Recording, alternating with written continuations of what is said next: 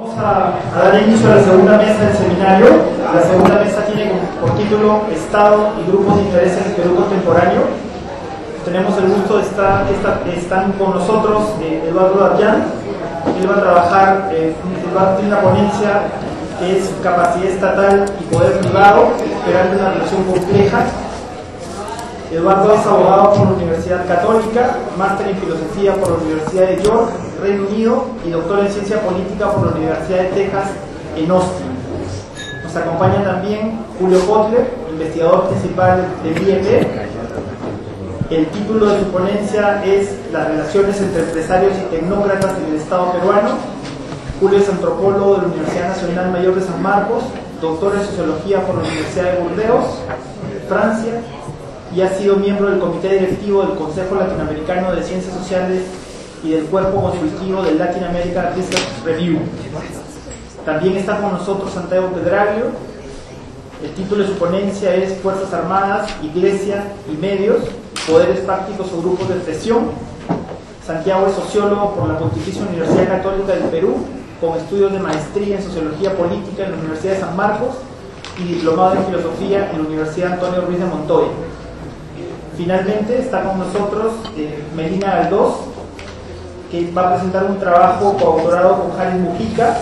El título es La permeabilidad institucional para el elevado de activos, las economías ilegales y la violencia del crimen organizado en el Perú. Melina es licenciada en Ciencia Política y Gobierno de la Pontificia Universidad Católica, ha sido alumna sobresaliente y actualmente es investigadora del Laboratorio de Criminología Social de la CUC.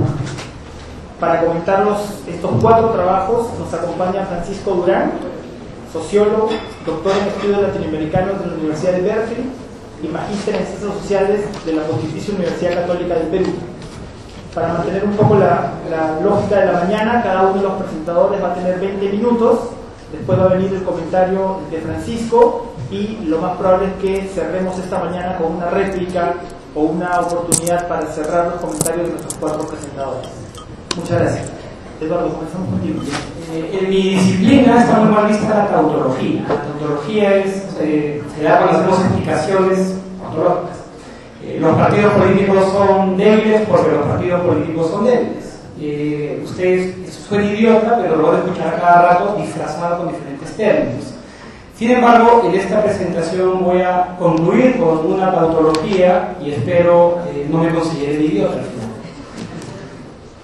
eh, la mayoría de estudios sobre capacidad estatal o fuerza estatal, los términos son abundantes, eh, pero lo llamamos de capacidad estatal, la miran a nivel nacional. ¿Qué tan fuerte es un Estado? Y se intenta buscar medidas que demuestren que eh, distintos Estados pueden cumplir con ciertos objetivos básicos o más complejos para, medir esta capacidad. ¿no? La mayoría de estudios que se han hecho en, América Latina sobre capacidad estatal buscan explicar por qué después de gobiernos coloniales con diverso poder, algo pasa a fines del siglo XIX, 1870 en adelante, inicios del 20, que cambia varias trayectorias.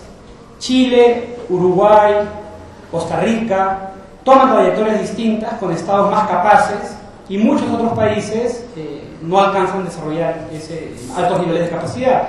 Otros se quedan a, sectores intermedios, México, Argentina, y muchos otros se quedan abajo. Algo importante de lo que hacemos en política comparada, en diálogo con la historia, es intentar situar un poco estos estados, porque a veces si nos centramos en uno, podemos olvidar que eh, tenemos otros casos cercanos que nos muestran las eh, particularidades o las eh, verdaderas dimensiones del caso que estamos estudiando. Entonces esta mirada en América Latina mostraba varios estados que habían desarrollado más capacidad y otros que no lo lograron. Eh, las explicaciones de por qué uno más capacidad que otros generalmente están dadas en base estructural el tipo de eh, recursos con los que se contaban, pero no solamente recursos, sino si esos recursos podían balancearse en cierta manera para evitar hegemonías de un tipo de producto natural, por ejemplo, que hubiese parasitado o controlado el Estado, y también las élites políticas, ¿no? cuánto de las élites políticas lograban este, mantener cierta relación de colaboración y no de conflicto. Ese es todo un campo de estudio muy interesante, en algo que ha tocado Romeo, eh, que muchos siguen. Yo voy a hablarles ahora de otro tipo de estudio de capacidad estatal que más bien mira al interior de los estados. ¿Por qué al interior de los estados hay agencias que tienen alta capacidad, agencias estatales, ministerios, oficinas, y otras que son muy débiles? Porque si ustedes ven América Latina y la comparan con otros continentes, pueden tener bancos centrales que le hablan de igual a igual al Banco Central de eh, países desarrollados, y al mismo tiempo pueden tener dependencias estatales que eh, no tienen eh, mayor capacidad, que se parecen mucho a las dependencias estatales de países muy, muy pobres, bastante más pobres que los de América Latina. Entonces, ¿a qué primero, a qué llamo capacidad estatal? Básicamente que el Estado tenga cierto nivel de autonomía, distancia de intereses poderosos, y también que tenga cierta efectividad, de nuevo, capacidad, tanto lógico, de cumplir con sus funciones. Cuando los estados van a tener cierta distancia de intereses sociales y cierta capacidad de cumplir sus funciones, voy a considerar que eh, son estados fuertes y que tienen capacidad, y lo mismo voy a hacer con las agencias.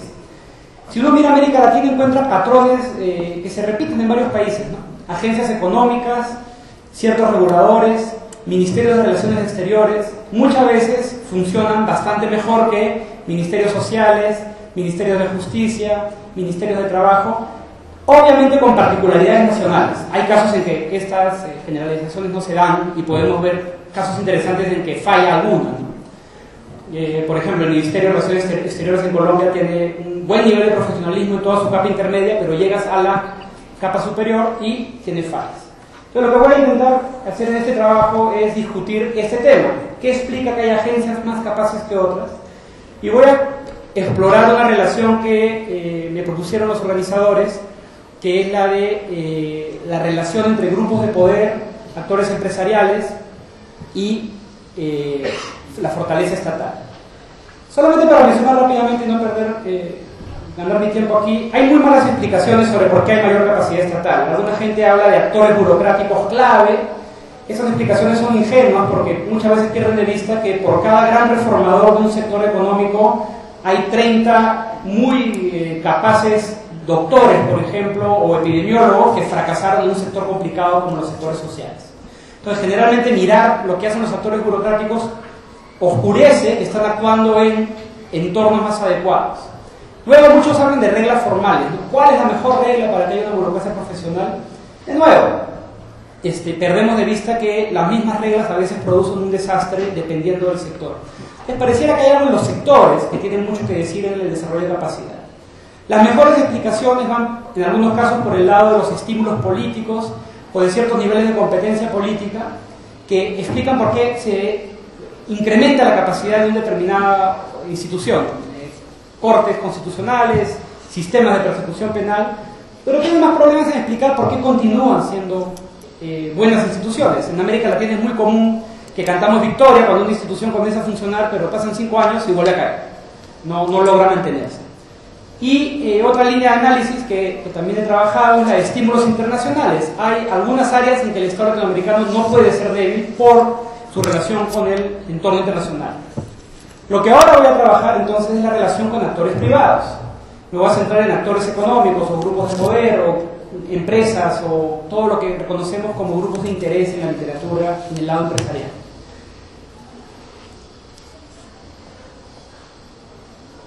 ¿Por qué habrá mayor capacidad estatal cuando estamos hablando de actores privados? Por un lado, una respuesta puede ser muy sencilla, porque a veces el Estado tiene que brindar servicios a actores que tienen capacidad de demandar buenos servicios. Si el Estado no brinda servicios a algunos actores que ejercen presión, van a tener mucha más capacidad de exigir un buen servicio, a veces dando lugar a burocracias más profesionales. Pero en otros casos, que son los que más me interesan, las relaciones son conflictivas. El Estado va a intentar regular, controlar, vigilar, supervisar a actores privados que en un inicio van a encontrar esta relación problemática. No están acostumbrados a ser regulados y por lo general van a establecer relaciones conflictivas. Pensemos en agencias reguladoras, bancos centrales, agencias tributarias, cortes criminales para altos funcionarios o cortes comerciales. No siempre la relación ha sido virtuosa. Muchas veces lo que uno va a ver ahí es una relación de conflicto. ¿Por qué deberíamos pensar entonces que hay una relación entre capacidad estatal y poder privado.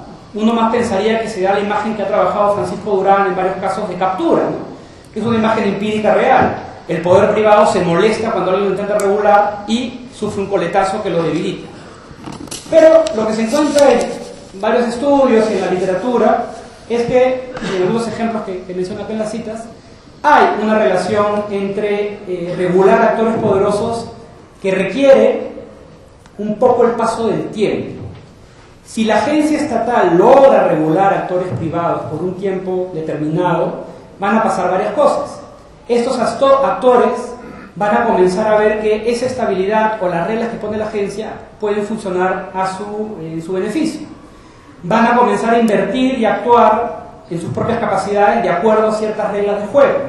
Si se pasa ese primer momento de conflictividad, lo que se encuentran en varios casos es que los que se convierten en defensores de la capacidad estatal son los propios agentes privados, que van a limitar que, eh, que van a limitar que, por ejemplo, un gobierno vuelva a politizar la agencia o un gobierno eh, la use para fines electoreros o un competidor, otro actor privado, la pueda capturar.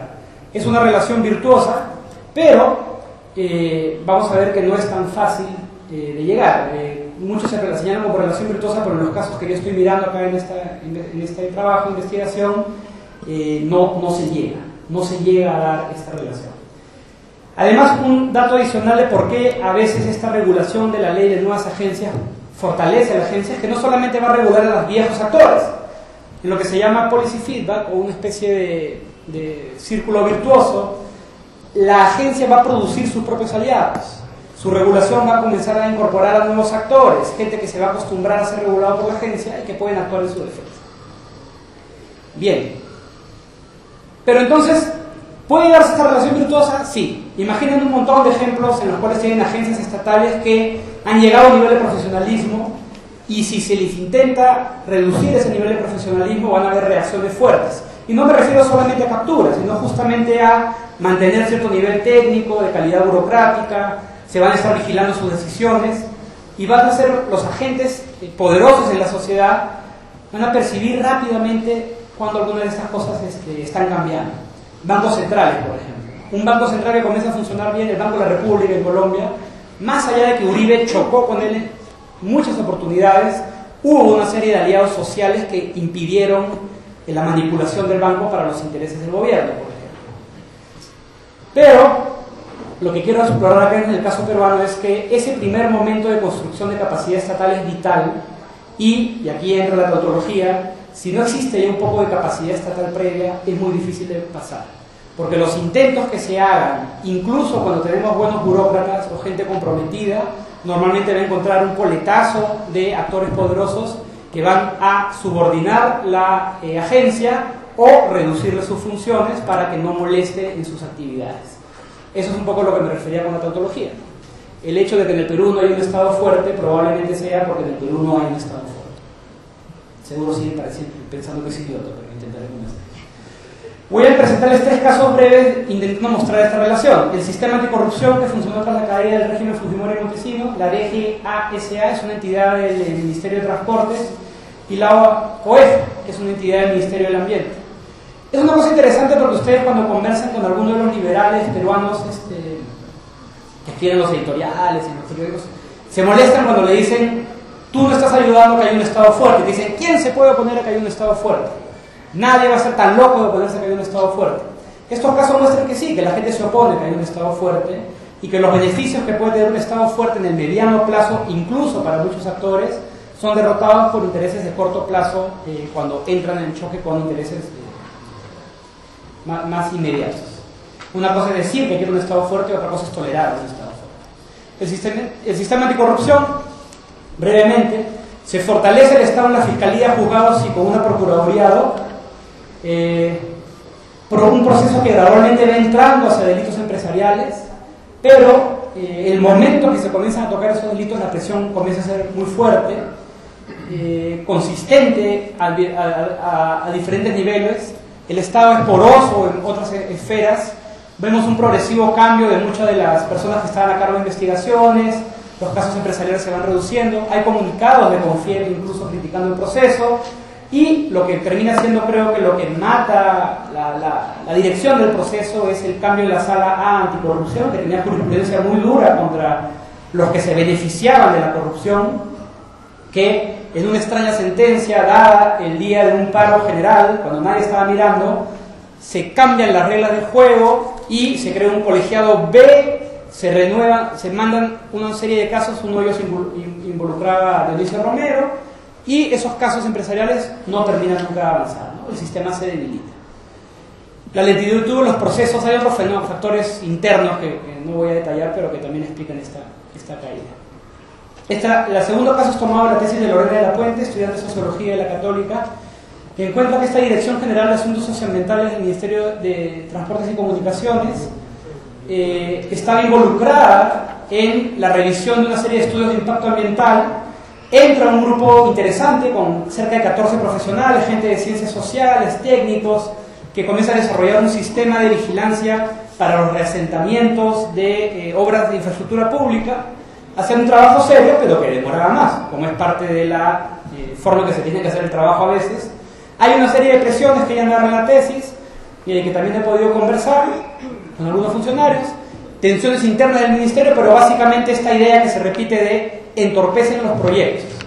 En realidad a veces entorpecer los proyectos eh, no, no es más que agilizarlo, y agilizarlo sabemos que en temas como este no se pueden agilizar, requieren tiempo. Un Estado responsable va a requerir un determinado tiempo para actuar y en este caso no se dio. De 14 profesionales la oficina cae a 3 en el 2001, ¿no? después de una serie de, este, perdón, 2011. Se me, me equivoqué acá.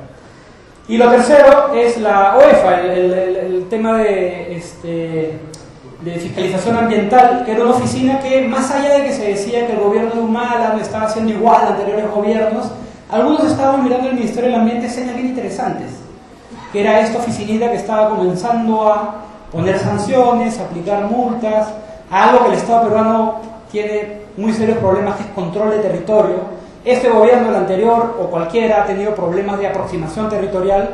La oficina eh, sufrió una serie de quejas, lobbies al parecer contra ella. De nuevo, demora los procesos, se adecúan sus funciones, el gobierno señala que no la ha debilitado, pero los plazos de decisión se han acortado. Esto creo que es clave, cada vez que se acorta el plazo de decisión es un buen signo de que alguien está metiendo el tope de sanciones se ha rebajado y el peso en el proceso de ordenamiento territorial es menor en la oficina. Entonces, más allá de lo que sería que la oficina sigue estando igual, creo que incluso la gente que lo dice sabe que no es verdad. La oficina perdió el peso. Entonces, malas noticias y un poco de tautología. Si un Estado que sea fuerte, que tenga a su vez dentro del Estado aliados importantes para, para evitar la presión de grupos de poder a través de otras esferas porosas, puede ser la política, puede ser eh, eh, el Poder Judicial, puede ser el Ministerio Público, es difícil que pueda surgir un Estado fuerte. ¿Por qué? Porque estos momentos clave de fortalecimiento estatal, de construcción de la autoridad, hacen muy difícil este, que puedan es muy difícil que puedan ser superados. Eh, las presiones directas o indirectas pueden reducir este proceso de construcción de capacidad. ¿De dónde podría surgir esta fuerza si no del propio Estado? Hay una serie de estudios muy interesantes sobre Corea, eh, Brasil y diferentes lugares que encuentran, India, que encuentran que a veces no es el propio Estado el que fortalece al Estado, especialmente si son estados débiles, sino que muchas veces puede darse una relación virtuosa, no solo con grupos de poder, sino también con partidos políticos, sindicatos y eh, actores de la sociedad civil. No es tan fácil. Los sindicatos no tienen que pedir acceso solamente, sino acceso y calidad que sabemos en el Perú ha sido uno de los grandes problemas frente al incremento de acceso a la educación o a la salud. ¿no? no es solamente acceso, sino mantener calidad. Pero en muchos lugares hay actores que pueden prestarle fuerza al Estado en estos momentos iniciales de conflicto.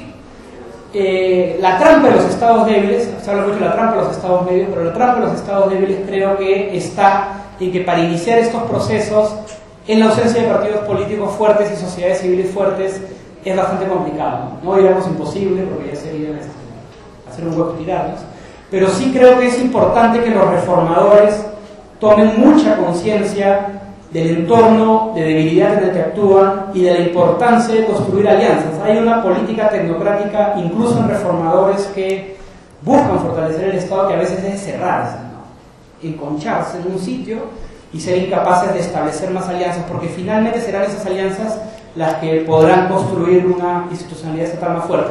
Piensen en el eh, organismo este encargado de la regionalización, ¿recuerdan cómo se llamaba no, el anterior, el grande, el, Consejo Nacional de Descentralización hizo un trabajo hacia adentro, aliado del Ejecutivo, cuando el Ejecutivo cambió de, de interés, lo mataron y nadie derramó una lágrima. Otra cosa pudo haber sido el caso si hubiese construido alianzas hacia la región. Entonces, en breve, estados débiles, diagnóstico adecuado, tienes que construir alianzas porque probablemente con la fuerza del Estado no te alcanza. Gracias.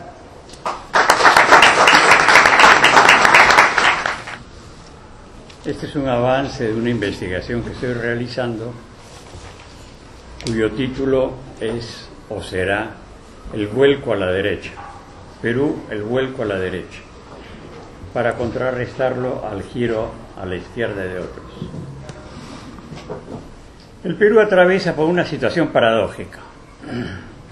Por un lado es un lugar común que se afirme de manera convincente que el Estado se caracteriza por su extrema debilidad debido a su incapacidad de controlar el territorio, imponer la ley, arbitrar los conflictos y, finalmente, de prestar los servicios básicos de seguridad pública, educación, salud, vivienda, motivo de la extrema pobreza y desafección social al Estado manifiesto en la reciente, en la creciente informalidad. Esta situación recuerda a Basadre.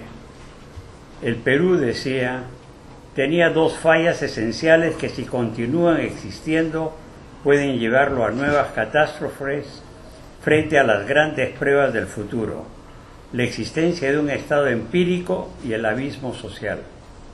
En suma, el peruano del siglo XIX no había tecnificado el aparato estatal ni había abordado el problema humano.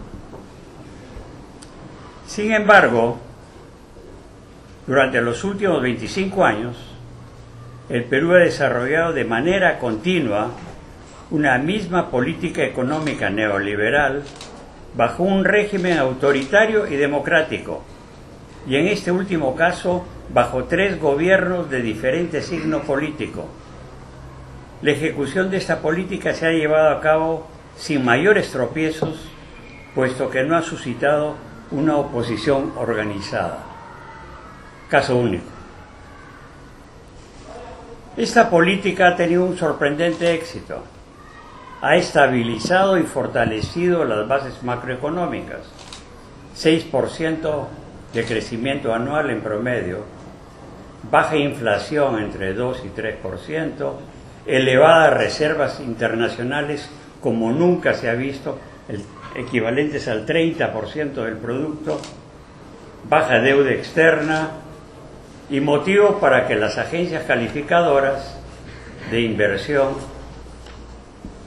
le otorguen el grado de inversión al Perú junto con Chile y México.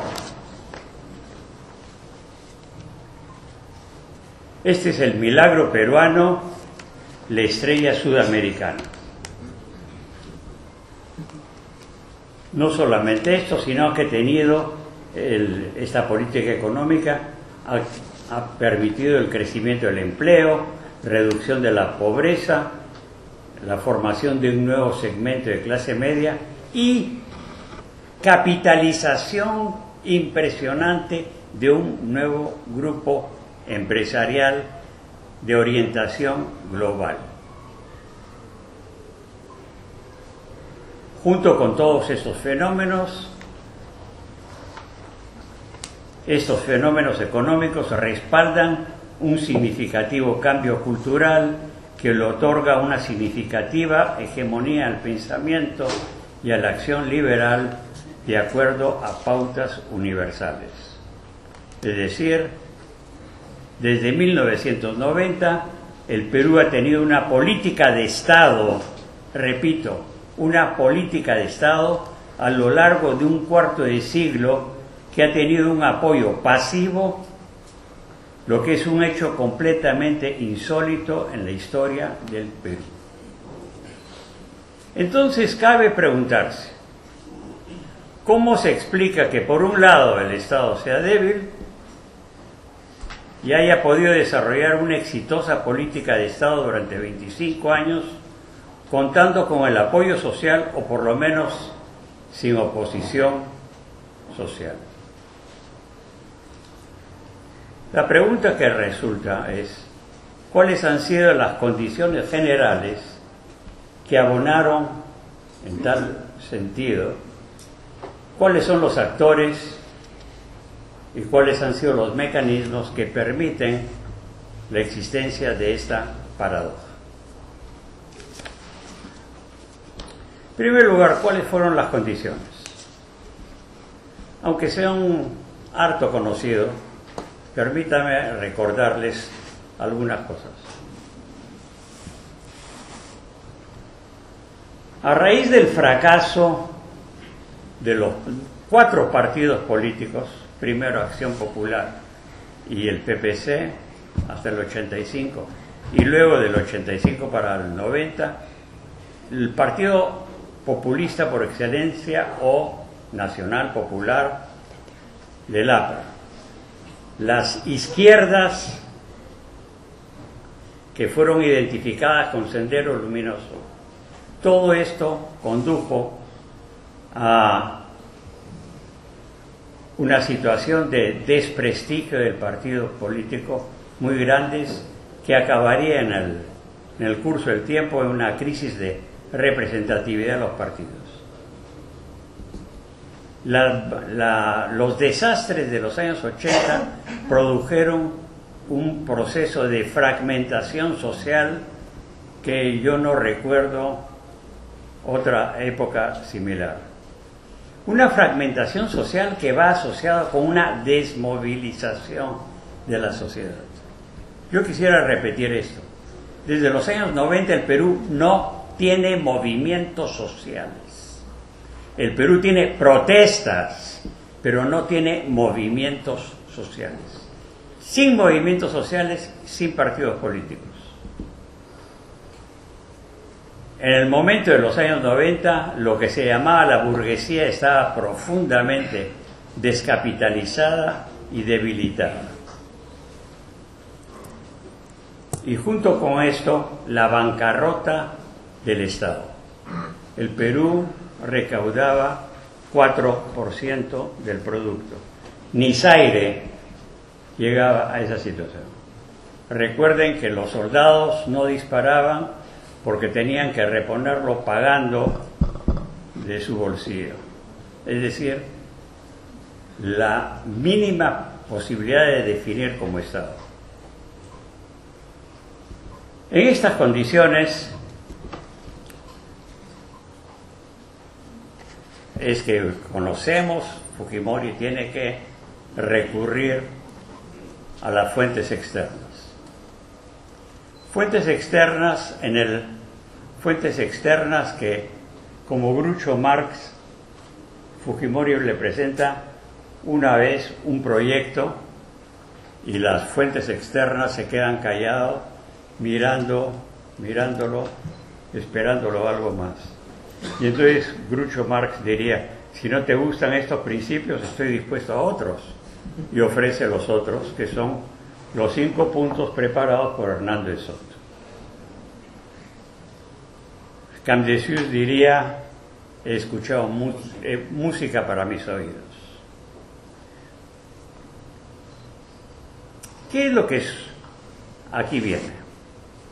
Lo que sucede es que en ese momento la extrema debilidad social, política y estatal, se encuentra sujeta a una condicionalidad neoliberal, el consenso de Washington, a cambio de los préstamos que le puedan otorgar. Para llevarlo a cabo se busca personajes que puedan hacerlo y no se encuentran porque el Perú en ese momento tiene muy pocos economistas y muy pocos economistas dispuestos a hacer la tarea. Se tiene que traer a gente de afuera que apoyada por personal del fondo, del banco, van a hacer la tarea. Entonces lo que nos encontramos es un primer momento de money doctors, como si fuera la época de Kemmerer, en la que prácticamente es una situación colonial en la que de fuera se confecciona el proyecto de estabilización. Hay un momento muy claro de una autonomía impresionante de los sectores tecnocráticos, prácticamente externos, que son los que llevan a cabo la política exterior. En la medida que se da esta situación, se establece un patrón muy claro. Autonomía tecnocrática en términos de una autonomía instrumental de los tecnócratas y una dependencia estructural a la inversión extranjera. Ese es el juego de bisagras que definirá a lo largo de este tiempo las variaciones habidas. Autonomía instrumental de los tecnócratas con dependencia estructural a la inversión extranjera. No voy a entrar en los detalles, pero en la medida en que, siguiendo la, las indicaciones de Eduardo, en la medida en que esto tiene éxito, los políticos comienzan a tener cada vez mayor significación en las decisiones económicas, por lo menos para que no se tomen decisiones. El caso de Montesinos es bien claro.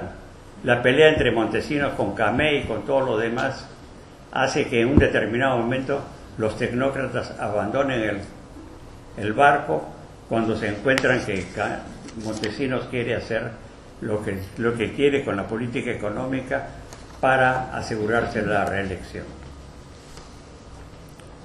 Entonces, ¿qué es lo que nos encontramos?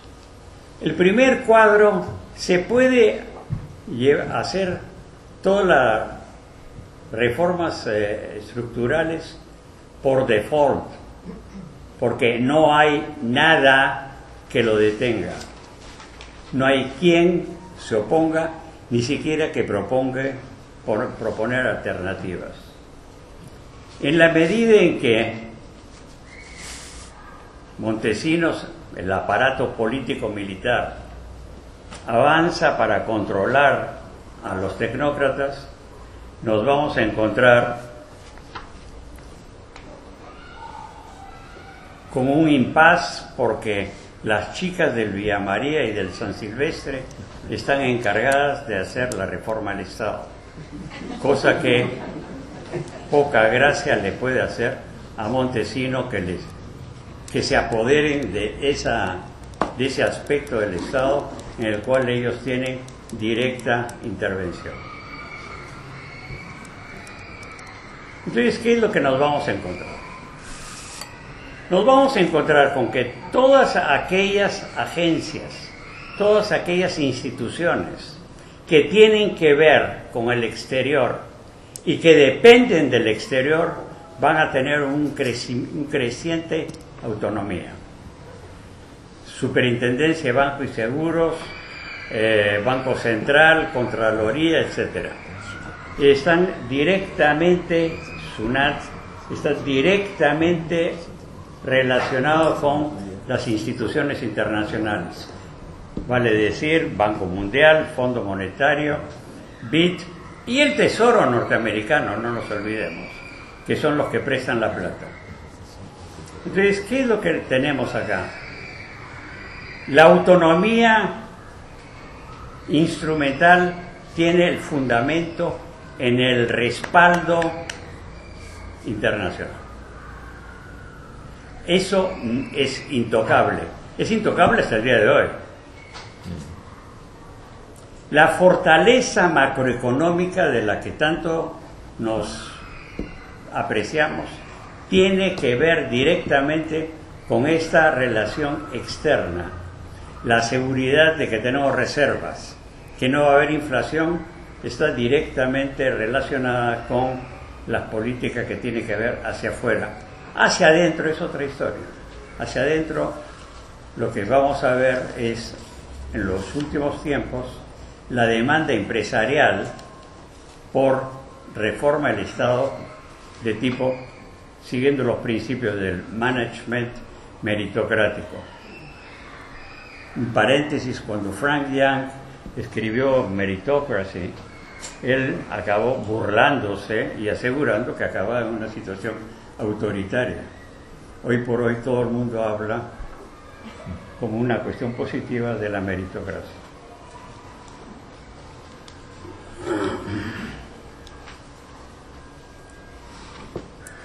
Es decir, ese sector del Estado que tiene que ver y que está respaldado y protegido por el exterior sigue los criterios tecnocráticos basados en la República de los Expertos. Expertos que tienen credenciales prestigiosas, sobre todo extranjeras. Mientras que estos expertos están dentro del Estado y fuera del Estado. Es fundamental en ese sentido dos o tres consultoras que tienen una influencia muy grande por los estudios que hace y por las recomendaciones políticas y por el acceso a los medios de comunicación y los expertos dentro del Estado. Sus relaciones entonces con el empresariado depende mucho de las circunstancias del Estado. Cuando uno examina la, ley de superintendencia de banca, se observa con que todos los bancos estuvieron opuestos a la ley y se impuso la ley superintendencia que tiene una de las regulaciones más rigurosas del mundo. Tiene la Basilea III, que es, tiene un control sobre el movimiento bancario muy estricto y se impusieron, como que se han impuesto también en el Banco Central, porque el Banco Central siempre ha tenido líos con los bancos por la tasa de encaje, se imponen. Es decir, tienen aliados políticos externos y tienen un respaldo no solamente condicionado, sino también forma parte de la comunidad epistémica, porque estos expertos participan de una comunidad internacional en sus relaciones personales, pero no solamente en sus relaciones personales, sino en la difusión de determinados conocimientos y principios de carácter técnico. El 95% de las lecturas de los estudiantes de economía hoy por hoy son iguales en todo este circuito.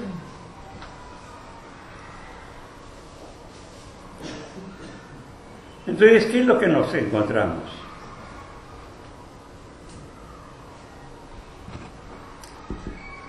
Sectores de grandes empresas, en la medida que el capitalismo en el Perú, como en toda América Latina, es muy concentrado, cada sector tiene dos o tres empresas hegemónicas con las cuales los, em, los técnicos tienen que negociar.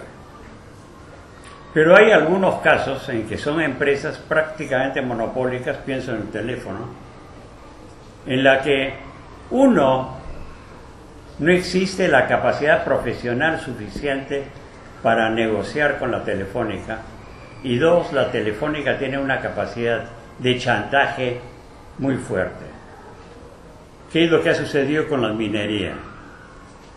Si es que tú no me apruebas, si tú no me rebajas las, los estudios de ambientales, yo no pongo el dinero, simplemente.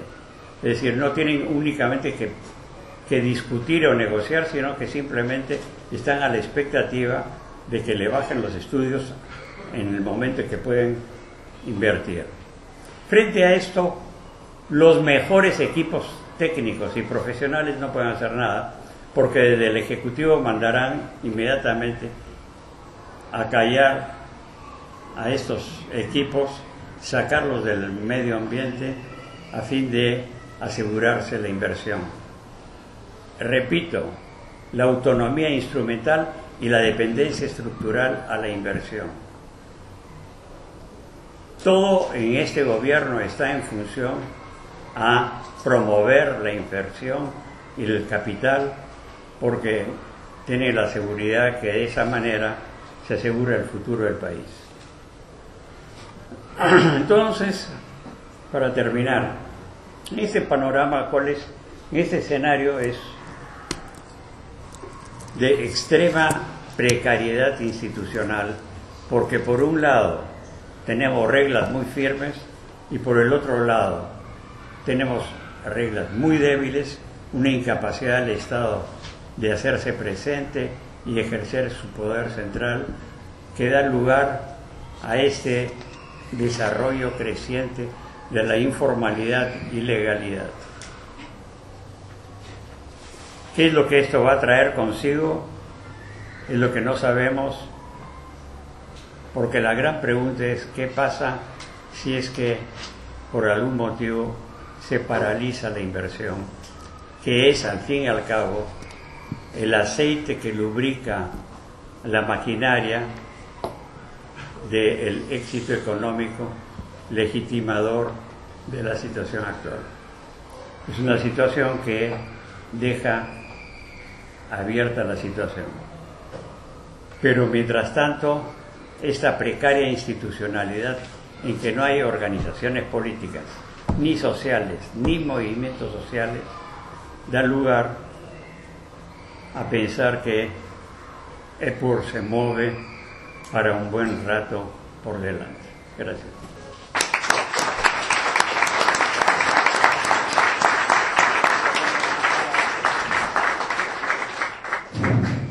Muchas gracias, Julio.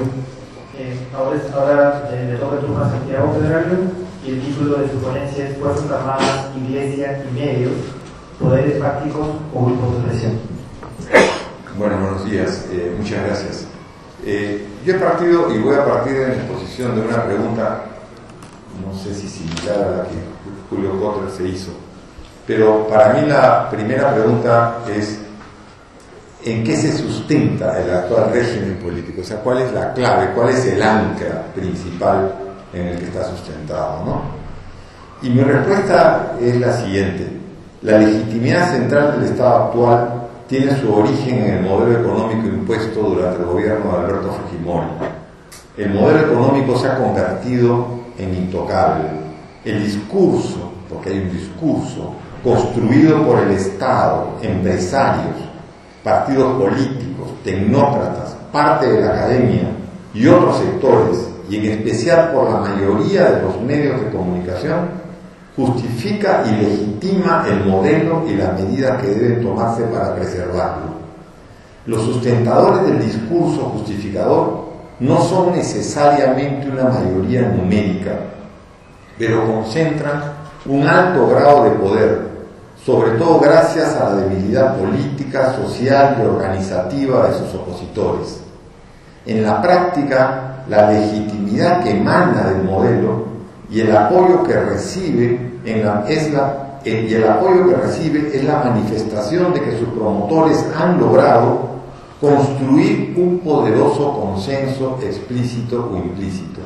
Es así como este modelo económico promueve no solo el consenso político, sino además la cohesión y un norte aparentemente seguro para el país. O sea, quiero decir dos cosas. Una, que el eslabón clave de la legitimidad del Estado actual es el modelo económico. Y eso me parece fundamental. Basta leer los periódicos, los debates, para saber dónde es que está parada y dónde está situada esa legitimidad. Pero algo más, esa legitimidad del modelo económico da legitimidad política, o sea, otorga legitimidad política a los determinados actores políticos y al Estado. Y lo ha otorgado además porque a lo largo de estos 14 años ha habido crecimiento económico, con todos, eh, digamos, los, beneficios que este crecimiento económico y que Julio ha, creo, eh, tocado y abordado. La constitución del 93 de alguna manera la diseña Y a eso debemos añadir los múltiples acuerdos que ha tomado el Estado, TLCs, política previsional, mercado laboral, etcétera, etcétera, manejo medioambiental, que es una, digamos, una, una red normativa sumamente potente, sumamente poderosa, eh, sobre la cual además este Estado teje y organiza un determinado, un determinado poder que por el momento es sumamente potente. Por lo tanto, creo, creo que no es la democracia liberal ni el consecuente poder de la ciudadanía mediante su voto la que sustente el actual régimen político, sino el consenso en torno al modelo económico, aplicado de manera extrema sin concesiones. Ese para mí una otra clave. No es, o sea, el momento que tiene más poder la ciudadanía peruana es el día de las elecciones. Todos están preocupados cuál, es el resultado, pero terminó la votación y esa noche le están pidiendo al presidente, al último presidente electo, a Humala, cuál va a ser su presidente del BCR, cuál va a ser su ministro de Economía y Finanzas. O sea, le están diciendo, muy bien, tú ganaste, has ganado fuera de nuestro control, pero tú tienes que gobernar con nosotros. O sea, tú eres parte y tienes que ser parte de este, de este, digamos, de esta legitimidad consensual básica que se ha construido y que por lo tanto le otorga poder al propio Estado y le otorga poder al propio régimen político. Y creo que eso es lo que motiva de por qué puede soportarse una democracia peruana sin partidos y con una precariedad de instituciones estatales extrema. O sea, creo que una de las razones es esa, es este consenso en torno al modelo muy poderoso, muy potente, que viene desde la época de Fujimori, desde los primeros años del gobierno de Fujimori, eh, y que por supuesto hasta el momento ha tenido éxito en sus términos. La gran pregunta es qué pasará ¿no? cuando se produzca un bloqueo o cuando se produzca una caída, por ejemplo, del crecimiento de la economía. Entonces, creo que ese es una, un primer aspecto que me parece, que me parece eh, fundamental. Pero yo al mismo tiempo intuyo que los que tienen el poder actualmente y los que están en torno a este, a este consenso, es como que saben que es también un consenso precario. Una de las cosas que a mí más me sorprende es cómo estos sectores son tan sensibles frente a determinadas protestas sociales, son tan sensibles ante una izquierda que prácticamente no existe, que tienen que inventarla, porque lo único que ha existido en los últimos años es el gobierno eh, metropolitano de Susana Villarán, ¿no es cierto? O el triunfo de, Gregorio Santos en, Cajamarca, o de algunos otros presidentes regionales. Entonces, es, esta necesidad de tener un, un enemigo, ¿no? lo que a mí me hace pensar en que ellos mismos también conocen de las precariedades en las que están manejándose y de la necesidad, de la urgencia que tienen de tener un control estricto sobre el orden en el país. Y no es, no es gratuito que así suceda. Ahora bien, yo tengo que tocar tres temas además de este. Es el asunto de las Fuerzas Armadas. Las Fuerzas Armadas, hoy por hoy, a lo largo de estos últimos 14 años, han mantenido una calma importante, no, no cabe duda. Pero quiero recordar algunas cosas, no solamente la historia, no sé, de los casi 200 años de vida republicana. Las Fuerzas Armadas peruanas fueron un factor clave en la fundación del actual modelo económico y en el actual régimen político. Fujimori actuó en alianza con esas Fuerzas Armadas. Y esas Fuerzas Armadas tenían ya un plan previo, el famoso Plan Verde, ¿no es cierto? En el año 88-89, que no pretendían otra cosa que, que fundar un régimen semejante al de Chile, al de Pinochet. Por lo tanto, las Fuerzas Armadas peruanas se sienten, sienten dos cosas desde mi punto de vista. Una, que es clave, que son cofundadores del actual régimen político que vive el país. Cofundadores con Fujimori. Y eso le da una autoridad implícita, asolapada, no dicha, pero que es clara, que la tienen. Y la segunda es que las Fuerzas Armadas vencieron a Sendero Luminoso. ¿De acuerdo? Las Fuerzas Armadas confirmaron su papel de alguna manera de salvadores del, país y, de los peruanos. Podemos discutir, por supuesto, que, eso no fue, que ese grado de, unilateral no, existió, pero yo les recomiendo que ustedes lean un texto de las Fuerzas Armadas, que es la versión de la Comisión de la Verdad, pero desde el punto de vista de las Fuerzas Armadas, ¿no es cierto?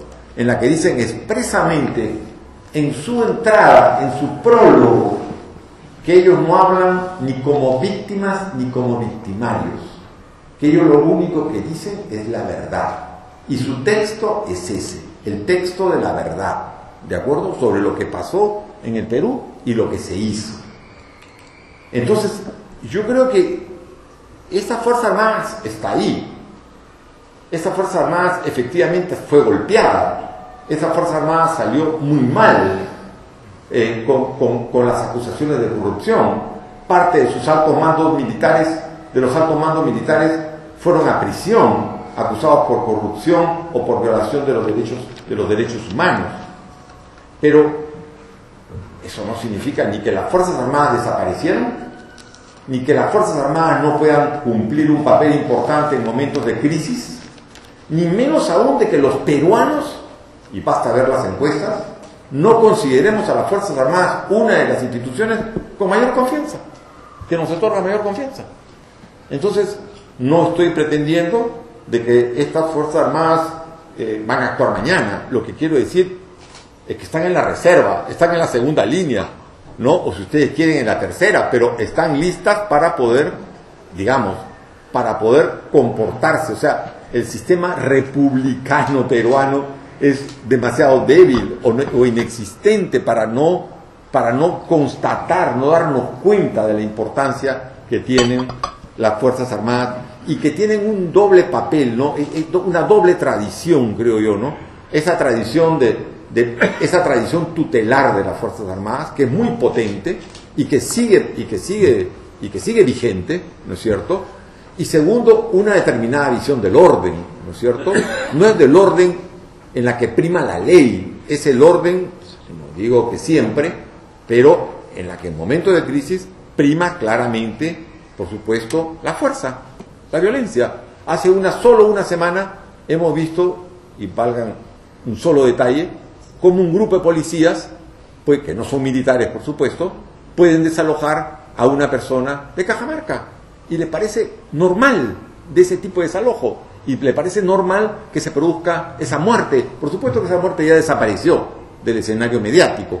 Pero, pero la, la, conducta, la forma de comportarse, está reflejando que esas Fuerzas Armadas y, y, y seguramente, la, de hecho, las fuerzas policiales no han modificado sus criterios, su, comportamiento, su mirada del resto de la sociedad, del resto de los peruanos. O sea, esas Fuerzas Armadas, por lo tanto, creo yo que están presentes y que tienen un componente que puede ser muy, muy, digamos, puede ser muy activo en determinadas circunstancias, ¿no? Eh, en relación con la iglesia, la iglesia, la iglesia es más que un grupo de presión, pues, ¿no? La iglesia, la iglesia cuida las almas, ¿no? Entonces, pero si vemos varias instancias de la iglesia, rápidamente, de relación con el Estado, hay una primera relación con el Estado que es todo, todo el paquete legislativo. Si ustedes miran con cierto cuidado la constitución del 33 y la constitución del 79, hay un cambio sustantivo. La del 33 habla de protección del Estado de la iglesia. En el 79 ya no se habla de protección del Estado, pero, y se habla de autonomía e independencia, pero gran parte de lo que la Constitución del 33 decía está en el concordato, que se firma en el 80.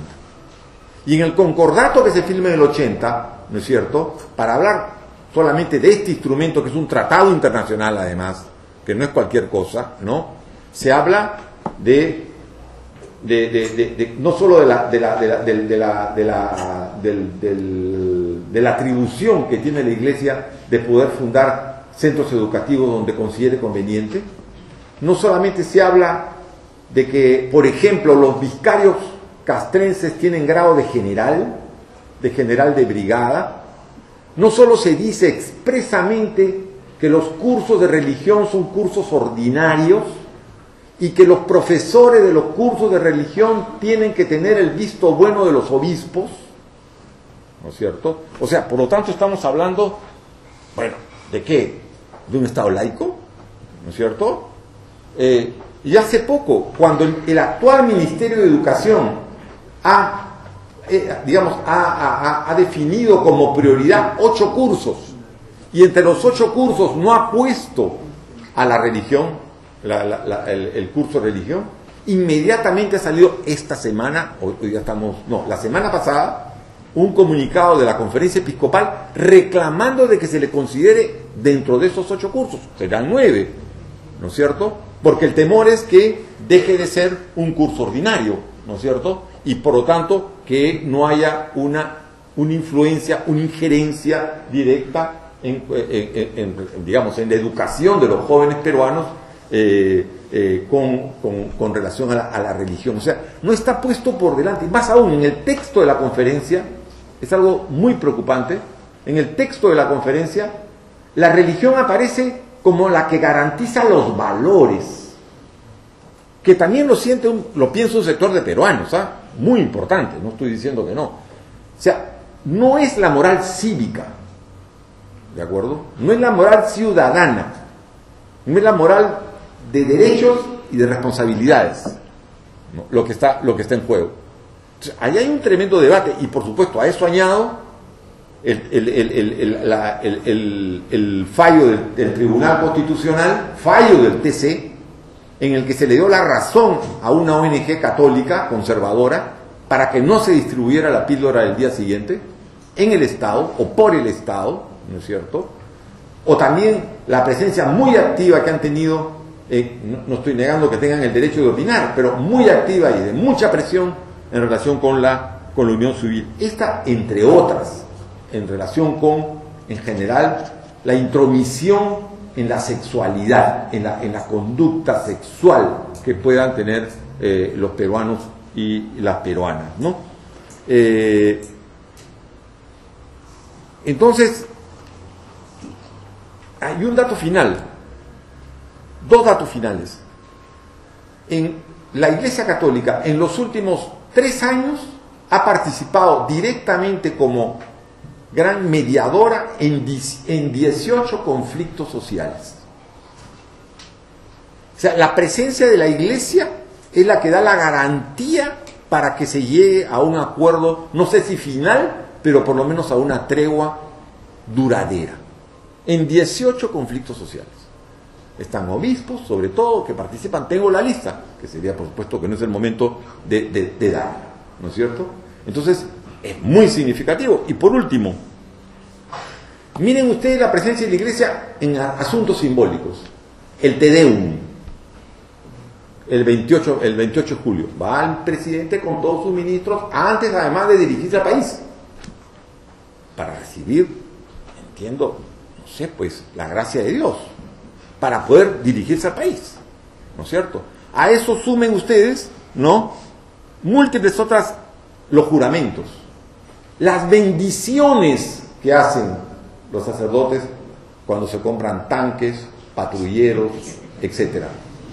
Es normal. Los peruanos lo tomamos como normal. Pero bueno, preguntémonos pues, ¿qué significa ese tipo de relación que hay entre el Estado y la Iglesia? ¿No es cierto? Y si es algo mucho más complejo que, solamente una opinión frente a uno u otro tema, como por ejemplo el de la unión civil. Voy concluyendo. En relación con medios de comunicación, yo quiero decir con medios de comunicación, yo creo que los medios de comunicación son los, sobre todo algunos, los grandes articuladores del discurso diario conservador, ¿de acuerdo? Del discurso diario, del discurso cotidiano, no el de los académicos, el discurso cotidiano. Y miren, y, te- y cometemos un grave error. Nosotros, los que estamos más interesados por la política, siempre ponemos el ojo en la información política que dan los medios. Pero los medios tienen, creo yo, tanto o más poder en los ámbitos no políticos de la información o de- de- del espectáculo. Yo solamente quiero leerles un, párrafo muy breve, nada más y nada menos que de alguien conocida por todas ustedes, por todos ustedes, de, que es de Magali Medina. Magali Medina. ¿Qué dice Magali Medina? ¿Qué dice Magali Medina? Es que Magali Medina tiene una audiencia, discúlpenme, la audiencia que tiene Magali Medina, que tiene Beto Ortiz, pasa el millón de espectadores. Es entre un millón y un millón y medio de espectadores. ¿No es cierto? Y dos, dos ejemplos. Ella, miren lo que dice, ¿ah? una entrevista que le hizo hace poco Gabriela Viña, que es una muy buena periodista. Le dijo, dijo, eh, eso es lo que eso, eso es lo que es hoy la televisión peruana. Es una televisión mucho más salvaje que la que dejé hace casi dos años. Y eso que en mi época, cuando empecé, creo que yo era una de las fieras más salvajes de la tele. Y el segundo ejemplo, dice cosas más, pero el segundo ejemplo es el de el valor de la verdad. ¿Ustedes se acuerdan del programa inicial de Valor de la Verdad en la que salió una chica a contar su verdad y al cabo de dos meses fue asesinada porque sencillamente no llegó, parece, a un acuerdo y no cumplió con el acuerdo de darle una parte de lo que había ganado a su supuesto novio, enamorado o lo que sea? ¿Pero qué, qué- qué estamos transmi- qué está transmitiendo los medios de comunicación como sentido común frente a la gente? O sea, ahí se está creando cultura, pero cultura cotidiana, o sea, ahí se está creando, eh, no solamente es un tema de espectáculo, es un tema de escándalo, es, una- es, es- y eso es consumido diariamente, ¿de acuerdo? Y por supuesto, no hay un debate al respecto. Porque además este área, esta área solamente debatimos, y también tengo por supuesto información, cómo informó, por ejemplo, Perú 21 en las elecciones del 2011. Ah, por supuesto, entre primera y segunda vuelta. Cómo informó claramente a favor de Keiko Fujimori y contra Ollantumala. Y cómo hizo carátulas absolutamente, por decirlo menos, la verdad, este, que- que no cumplía con el rigor mínimo del periodismo. ¿No es cierto? Entonces lo que yo creo es que los medios de comunicación son potentísimas, potentísimos instrumentos de instalación de un discurso, ¿no? No solo oral, sino gestual, ¿no es cierto? Gestual, que tiene un gran impacto sobre los peruanos y sobre las peruanas, y que, y que acá nos parece relativamente normal que eh, programas como esto estén y tengan no solamente... Yo sé que hay en otros lugares del, de- del mundo, pero, pero por lo menos a, a la señora Bozo en México le hacen problemas, ¿no? Y a cada rato la amenazan con, con expulsarla y con, y con- y con cerrarla y con cerrar su, pro- su programa. Aquí, normal, no pasó nada. Y concluyo, concluyo, concluyo. Eh, yo tengo un gran problema. Si el anclaje, concluyo, el anclaje social y político del actual Estado peruano podrá, podrá soportar un frenazo económico durante tres o cuatro años, podrá derrotar a las economías ilegales en expansión y con creciente capacidad para capturar franjas del Estado. Mi impresión es que no. En la situación actual, no. No creo, la verdad. Controlar la, la- economía ilegal, la verdad, no la veo. Y no hay voluntad, no hay estrategia, no hay, no hay conciencia, o simplemente es tan fuerte también el vínculo de la economía ilegal con la legal, con la legal, que esto está pasando, o pasa, sí, todos nos, por supuesto, nos escandalizamos ante los sicarios, pero los sicarios son pues la punta de un iceberg donde las economías ilegales son las más potentes, ¿no? Y son lo potente. Vale la pena subrayar que la lucha contra la economía ilegal y sin informalidad no, no, solo, no solo de los de abajo, sino también de los de arriba, no tiene las mismas características de la lucha contra Sendero Luminoso. Dicho de otra manera, si las Fuerzas Armadas peruanas, guste o no la forma como actuaron con Sendero y con la subversión, fueran finalmente, fueron finalmente eficientes para derrotar a la subversión armada, difícilmente tendrán un comportamiento similar en la lucha contra las economías ilegales y sus brazos armados, las organizaciones criminales. O sea, las Fuerzas Armadas no van a poder tener el mismo grado de eficacia. Vean, México es el ejemplo, por supuesto, no estoy pretendiendo que vamos a ser igual a México, pero... Y Norberto Bobbio decía algo que me parece muy importante. La diferencia y la dificultad de combatir a las mafias ilegales es que éstas no quieren destruir el Estado como el terrorismo, sino penetrarlo, capturarlo, someterlo. Y creo que ahí está todo el sistema, no solamente la policía y la Fuerza Armada. Yo creo que ahí está la Contraloría, la Superintendencia de Bancos, la SUNAT. Yo veo que a cada uno de nosotros, si no pagamos un recibo, en un mes, a la semana nos cae, un, una, nos cae la SUNAT. O por lo menos nos cae un aviso de la SUNAT de por qué no hemos hecho la declaración. Yo soy de lo que tengo que declarar mensualmente. Pero no veo, cómo, no veo por qué se pasan elefantes delante. ¿De acuerdo? Que creo que son realmente graves, no solamente, y estos son algunas instituciones fundamentales, algunas de ellas además consideradas islas de eficiencia. ¿no? Gracias.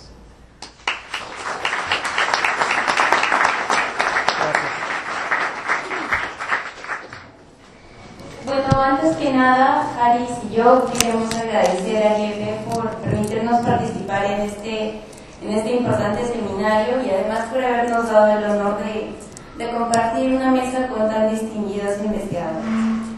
Bueno, la ponencia que voy a presentar hoy va a tocar tangencialmente varios de los temas que se han tocado en esta mesa, como capacidad estatal, la relación con algunos grupos de poder, sobre todo el sector empresarial, más concretamente en el sector financiero y bancario, la dependencia de algunas instituciones, de algunas instituciones del Estado hacia algunos organismos internacionales, entre otros. Estos elementos irán brotando conforme vaya desarrollando esta ponencia.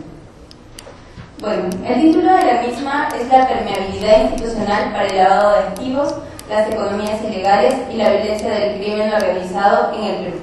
Un estudio exploratorio. El contexto del estudio. El lavado de activos es hoy uno de los delitos transnacionales con mayor relevancia a nivel internacional. El Fondo Monetario Internacional estima que representa entre el 2 y 5% del PBI global, lo que equivale alrededor de 1.5 a 2 billones de dólares anuales. Para América Latina las cifras son aún más alarmantes, pues el Banco Interamericano de Desarrollo estima que la proporción de activos lavados anualmente representa entre el 2.5 y el 6.3% del PBI regional. En el caso del Perú, la Unidad de Inteligencia Financiera detecta que anualmente los montos lavados en nuestra jurisdicción ascienden a más de mil millones de dólares. Sin embargo, hay evidencia de que en el Perú existe un gran margen de activos lavados que pasan desapercibidos ante los controles estatales que operan bajo la Política Nacional de Lucha contra este delito. Dentro de este contexto, hemos planteado un banco de estudios para entender el impacto y, la situación del lavado de activos en el Perú. De este modo, tenemos ya una investigación concluida que versa sobre las limitaciones de la nueva política antilavado de activos introducida en el 2011 y cómo esta viene permitiendo la reproducción y fortalecimiento de una estructura que es paralela a la economía informal y que es la economía subterránea. Una segunda investigación en progreso que busca entender la relación entre el lavado de activos y la corrupción y finalmente la investigación que vengo a presentarles hoy, que busca entender la relación entre el lavado de activos y la violencia del crimen organizado.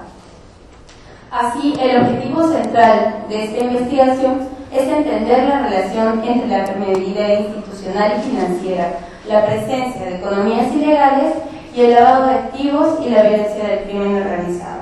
Entonces nosotros nos preguntamos, ¿hay correlación entre estas variables?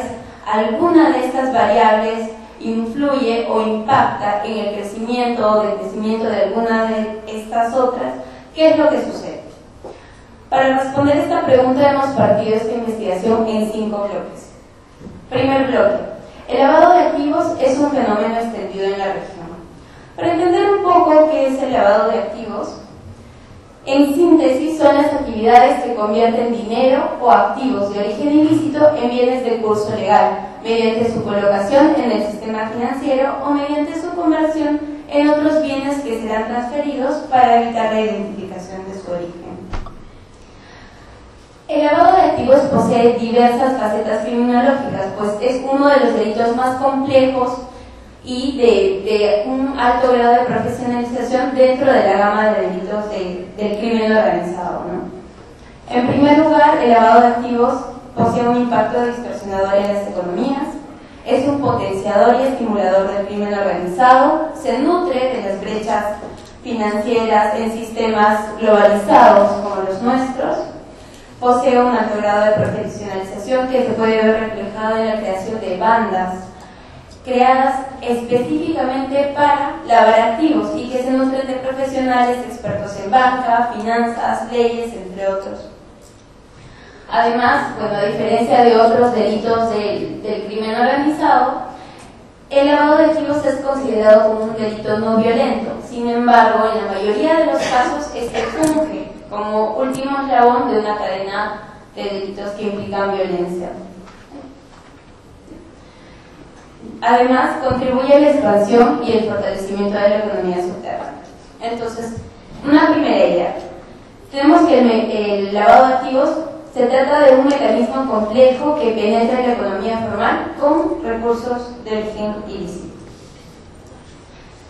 El lavado de activos tiene la propiedad de aparecer con más frecuencia en mercados emergentes que en mercados industriales estables.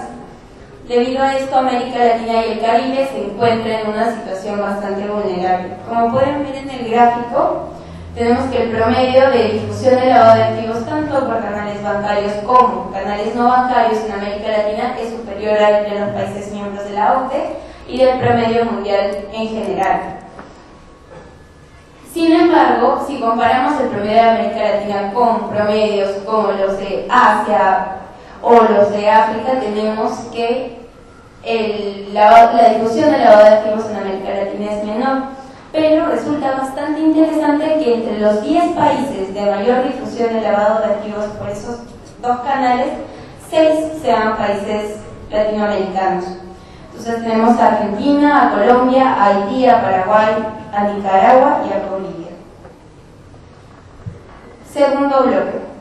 Los datos sobre el lavado de activos generados por el Estado son precarios y evidencian un importante. Quiero comenzar con la idea de que no solo los datos generados por el Estado son precarios, sino que también las investigaciones más recientes se limitan a ofrecer un cálculo basado en proyecciones y no en estimaciones econométricas claras. Debido a esto y debido a la complejidad del delito y lo difícil que es realizar una estimación, una de las últimas, uno de los últimos estudios oficiales que fue producido por la UNODC en el 2009 botó un cálculo basado en una proyección eh, que de hecho se basa en un dato que, que, sacó el Fondo Monetario Internacional a fines de la década pasada. Entonces, haciendo un modelo para proyectar cuánto se estaría lavando hoy en día de acuerdo a las variables que, que, están latentes hoy, tenemos que más o menos se lavan 1.6 trillones de, dólares anualmente, que es, a decir verdad, un monto bastante grande. Como tercera idea, al igual que en la medición del tamaño del fenómeno, existen problemas para medir la efectividad de los sistemas anti-lavado de activos. Esto ha llevado a que se emplee como un proxy para esta medición la evaluación de la concordancia de los sistemas nacionales con modelos de riesgo planteados por varios organismos internacionales. Es decir, yo como país, ¿cuántos checks estoy cumpliendo en tu lista Fondo Monetario Internacional, en tu lista Naciones Unidas, en tu lista Grupo de Acción Financiera. Entonces esto resulta bastante interesante, pues si nos basamos en este esquema, tenemos que el Perú se encuentra entre los 20 países con menor riesgo de lavado de activos de acuerdo al Basel Institute on Governance, que es una de las entidades más prestigiosas en esta materia. Y Perú se ubica en una posición debajo de Dinamarca y encima de Australia, y junto con Chile y Colombia se ubica como un líder en la región, pues no hay ningún otro país latinoamericano dentro de los 50 países que menos riesgo de lavado de activos tienen. Pero, siguiendo la lógica del argumento, un país con alto cumplimiento de estos criterios, pero con alta presencia de lavado de activos y una escasa efectividad para controlar el fenómeno, puede tener un puntaje alto, porque aquí no se mide en primer lugar, no se ha podido medir cómo está evolucionando este delito en, en cifras. No se puede medir la efectividad en la práctica de los sistemas. Entonces, tienen que usar, a ver, la concordancia de tu sistema con el mío, organismo internacional, que te lo planteo desde afuera. Esto nos lleva a una cuarta idea. Si esta es la situación, ¿cuál es la situación real de la detección de lavado de activos? Entonces, tenemos, como pueden ver en el gráfico, que ha habido un aumento en la detección de lavado de activos entre el 2013 y el 2014. Vemos picos bastante importantes que no nos dicen necesariamente que se está lavando más activos en el Perú, pero que sí está funcionando mejor el sistema de detección y eso puede darse a partir de la creación de la unidad de inteligencia financiera y en el 2008 su incorporación a la Superintendencia de Banca y Seguros. Por otro lado, también cabe el espacio para preguntarnos cuál es la situación real de la represión efectiva del lavado y los datos no son para nada alentadores. Tenemos que, si bien es cierto, la unidad de inteligencia financiera está detectando eh, bastantes personas involucradas, las personas que son juzgadas o, o para las cuales la fiscalía abre casos son muy pocas y de estas lamentablemente no tenemos ningún registro de, de, personas que estén cumpliendo una, una condena por, por este delito. Entonces, nos quedamos con esta idea. Los datos no muestran una buena situación, sino en realidad una cifra oscura, probablemente muy grande, y una escasa capacidad del Estado para detectar este fenómeno. Bloque 3. La economía ilegal es evidencia de un volumen importante de dinero ilegal que ingresa al sistema financiero en el Perú. Entonces, si ya hemos visto que, el lavado de activos es, un fenómeno importante, que tiene bastante subregistro y que el Estado no está funcionando bien para detectarlo ni reprimirlo penalmente, cabe el espacio para preguntarnos cuánto dinero, fruto de de negocios ilegales se produce en el Perú, porque a partir de ese dato podríamos calcular más o menos cuánto se está lavando en efecto. Entonces, tenemos que por, tres delitos, como la tala ilegal, la minería no formal y el narcotráfico, se mueven millones de dólares. En el caso de la tala, entre 44 y 72 millones, en la minería informal 2.900 millones de dólares y en el narcotráfico aproximadamente 2.500 millones de dólares y 22.000 si es que se coloca en los mercados que más pagan por este delito. ¿no? Entonces, es razonable pensar que no todo el dinero obtenido de, de, de estos delitos transnacionales o del crimen organizado va a ser lavado. Siempre va a haber un margen bastante amplio que probablemente sí. Entonces, es importante hacer el ejercicio, ¿no? Además de esto, existen otras variables como esta, que es la, las errores y emisiones netas de la balanza de pagos peruanas, que indica que hay fluctuaciones de dinero bastante importantes que ingresan y salen del país y que no pueden ser explicados, que no tienen un punto de origen ni un punto de, de llegada. Entonces tenemos una situación muy problemática. En primer lugar, es indiscutible la gran importancia de la economía ilegal de madera, de minería y de narcotráfico, y es indiscutible que hay una gran cantidad de dinero que entra y sale del sistema financiero peruano, pero cuyo origen es indeterminado y sobre el cual las entidades estatales no están ejerciendo un control. Entonces, con Harry realizamos un ejercicio de extrapolación de un modelo de, presentado por la UNODC a partir de, los, de digamos, las utilidades en general de las actividades ilícitas. Y como un primer pantallazo a la magnitud real de este delito, hemos encontrado que 23 mil millones de dólares podrían estarse lavando en el Perú anualmente. Esto contrasta barbáricamente con los mil millones que detecta la unidad de inteligencia financiera.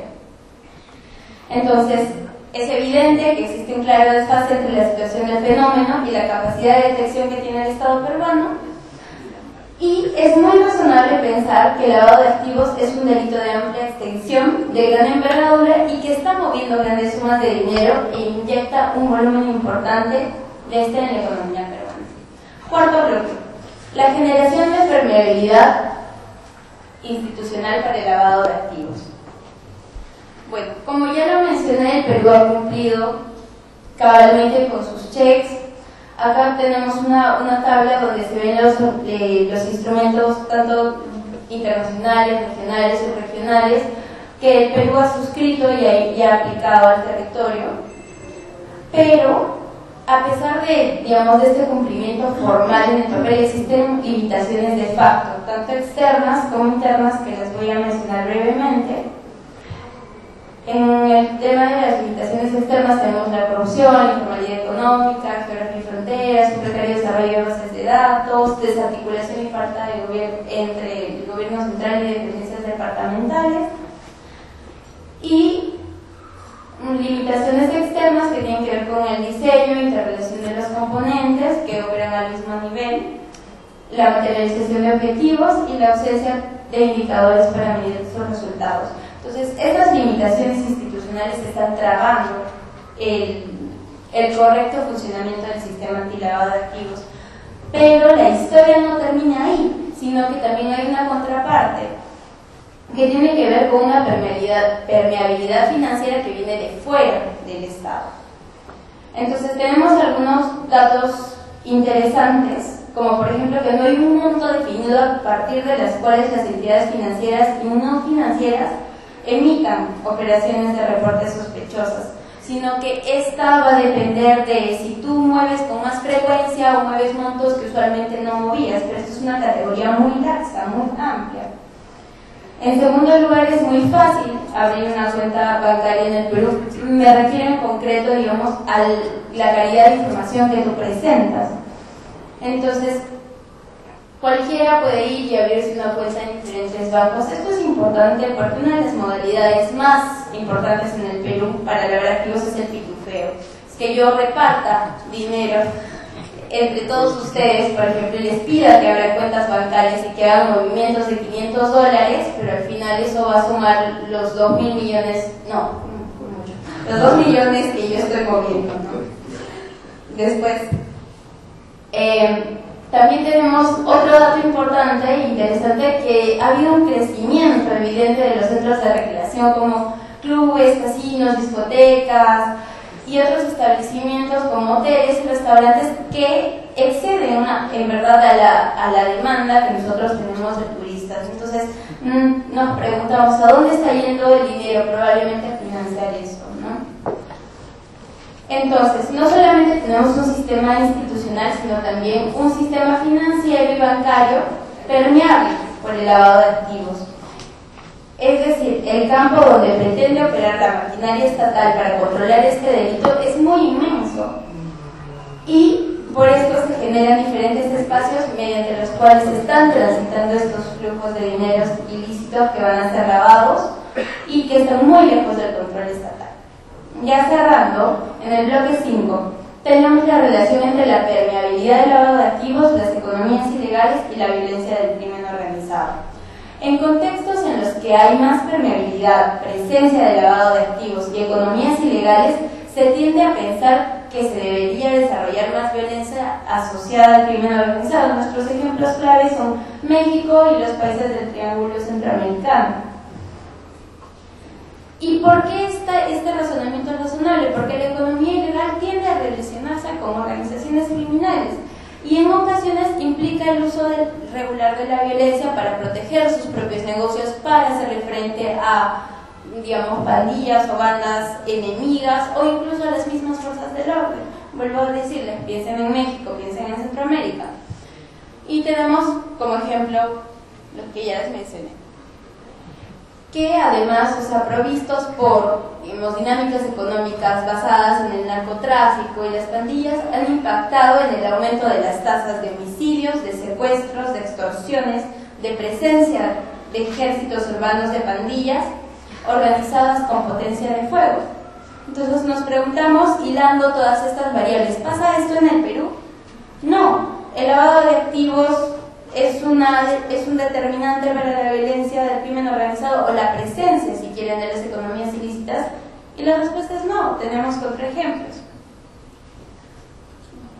como Panamá, Gran Caimán y Uruguay, donde el lavado de activos tiene una presencia importante, pero las tasas de violencia son significativamente menores. ¿Cuál es la situación en el Perú? Los delitos contra el patrimonio y los delitos contra la vida, el cuerpo y la salud recogen el 79% del total de los delitos cometidos. O sea, si comparamos estas tasas, que son más asociadas al delito común, con aquellas tasas que, que son más asociadas al, al crimen organizado, tenemos una gran diferencia, porque mientras que en la anterior nos estamos moviendo en una tasa de más de 100 de 160, 140 o superior a 100. En el caso de los crímenes asociados a, de los delitos asociados a la violencia del crimen organizado, las tasas son bastante bajas, menores incluso de 6. Bueno, ya terminando, como tercera idea, existe una correlación entre la violencia del crimen organizado, la presencia de las economías ilícitas y la presencia de las prácticas de lavado de activos. Pero ¿en qué consiste esta correlación? Tenemos como centro la violencia del crimen organizado y esta se ve impactada por la presencia de economías lícitas, sí, pero en contextos de comercio directo, de comercio de pivote, no en el caso peruano, que nosotros somos un eslabón producto dentro de una cadena de delitos, en muchos, en muchos de estos. Y en segundo lugar, esta violencia del crimen organizado se estaría viendo afectada porque por, digamos, una variable de en qué se están reinvirtiendo las utilidades que, son, que regresan, que han sido lavadas en el Perú. Bueno, claramente no para financiar pandillas ni ejércitos urbanos, no es para hacerle una guerra directa al Estado, sino para financiar casinos, para financiar centros de diversión, para seguir generando utilidades para revertir en una economía eh, de producción. Bueno, como, como, hemos, como lo anuncié al principio, eh, este estudio es solamente un estudio exploratorio y todo lo que les he podido mencionar a lo largo de esta ponencia nos deja algunas reflexiones para la investigación. Bueno, es una evidencia que el lavado de activos es un fenómeno extendido y de gran relevancia en la región. En segundo lugar, eh, el Perú es un país en el que se ha desarrollado bastante lavado de activos y donde las economías ilegales tienen una presencia muy importante. En tercer lugar, si bien los sistemas de detección han mejorado y se ha detectado más dinero producto del lavado, los cálculos generales hacen ver que se trata de cifras pequeñas, es decir, de su registro y no de estas grandes, como les mencioné, de, de 23 mil millones de dólares. Cuarto, sin embargo, esto no solamente va a suceder por limitaciones institucionales, sino también por limitaciones dadas por el sistema financiero y bancario, que son ya presiones o limitaciones que vienen de fuera del manejo del Estado. Y que también se puede ver en la generación de negocios que están siendo utilizados como fachadas para lavar activos, pero que no dejan ninguna pista transaccional. Quinto, a raíz de esto sería razonable entonces pensar en una relación entre la proliferación del lavado, el desarrollo de las economías ilegales, la permeabilidad financiera y la violencia del crimen organizado. La paradoja aquí es que no parece haber una relación causal clara ni un correlato efectivo. Pero no hay, este, pero no hay indicadores de eh, por ejemplo, como les mencionaba, de ciertos delitos como el homicidio, como el secuestro, como la trata de personas que sí estén diciendo que hay violencia del crimen organizado en el Perú. Finalmente, eh, ¿por qué en un contexto que tiene todas las características para desarrollar un espacio para el crimen organizado, esto no parece haber sucedido? No hay ejércitos urbanos, no hay milicias, entre otros. Entonces, una manera de entender esto es que puede pensarse racionalmente en un equilibrio tenso entre las economías ilegales desarrolladas, la violencia del crimen organizado, equilibradas por esta permeabilidad de los sistemas, del sistema y de las instituciones para el lavado de activos, que no se da en otras partes de la región. Esta es una hipótesis arriesgada, pero los datos sugieren un contexto en el que este equilibrio parece una hipótesis racional para entender lo que está pasando en el Perú. Muchas gracias. Bien, quisiera comenzar haciendo un comentario más general, transversal, que atraviesa, digamos, este, las distintas uh, presentaciones y luego uh, entrar a hacer uh, algunos comentarios y elevar algunas preguntas más específicas para cada uno de los ponentes. Esta es una mesa que está titulada Capacidad Estatal y Poder Privado, explorando una relación compleja. Entonces déjeme primero brevemente eh, decir eh, algo sobre lo último. Efectivamente se trata de una exploración sobre distintas dimensiones o temas que tienen que ver con el gran tema de capacidad estatal y poder eh, privado. Lo cual, de cierta forma, preocupa en la medida que se trata de problemas fundamentales que ameritan un mayor desarrollo, pero al mismo tiempo nos alienta porque vemos que hay cada vez reflexiones más organizadas, más profundas y, e, e investigaciones en curso que nos van a permitir más adelante profundizar este tema y convertirlo en, un, digamos, en, una base de estudio más institucionalizada, que tenga mayor posibilidad de seguimiento a futuro, cosa que todavía no es, pero, pero podría ser. Sobre la cuestión de capacidad estatal y poder privado, es interesante que eh, en general, a pesar de las distinciones que se han hecho de las diferencias internas entre el Estado, diferencias de capacidad y de los momentos en los cuales tienen mayor capacidad y luego menor capacidad y el poder privado, creo que uno podría resumir muy brevemente que estamos viendo una correlación donde hay baja capacidad estatal, que es relativa, no hay que compararla, etcétera, etcétera, pero en relación a otros estados, el estado peruano tiene eh, muy marcadas y bajas capacidades y al mismo tiempo eh, una muy alta concentración del poder privado. Entonces estamos frente a una asimetría estructural que atraviesa el país eh, en los últimos 25 eh, años. Entonces en esta asimetría estructural hay grupos de interés que tienen mayor capacidad, mayores recursos, mayor cantidad de miembros, mayor vida regular que otros.